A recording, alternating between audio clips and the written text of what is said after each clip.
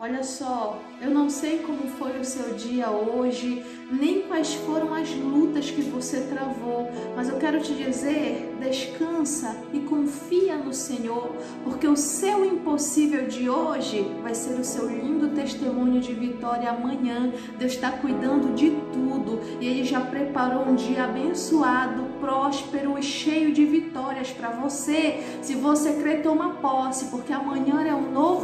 dia, é um recomeço de Deus para a tua vida, vai dar tudo certo, em nome de Jesus, toma posse, confirma aí nos comentários dizendo, já deu tudo certo, amém?